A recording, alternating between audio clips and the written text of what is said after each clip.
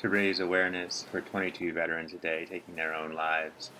I'm finishing up my 22 push-ups for 22 days.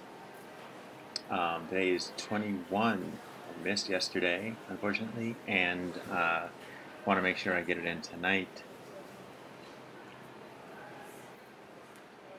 We'll see you tomorrow for the finale.